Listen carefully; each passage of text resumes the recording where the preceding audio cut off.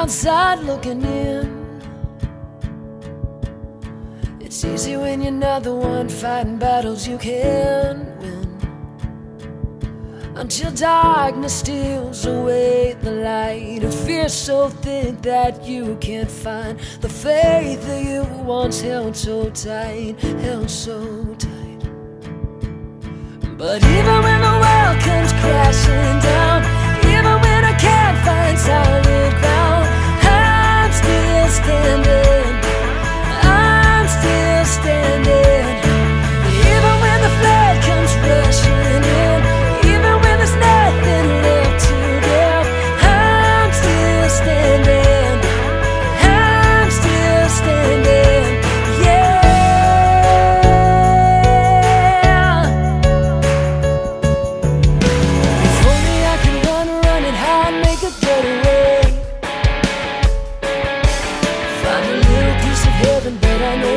there's no escape.